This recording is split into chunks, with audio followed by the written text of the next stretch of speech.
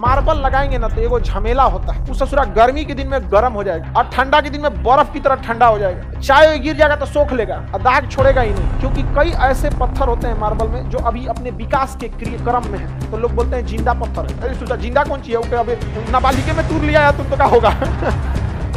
जैसे हिमालय पर्वत अभी नाबालिग है। अभी वोट डालने लायक नहीं हुआ है।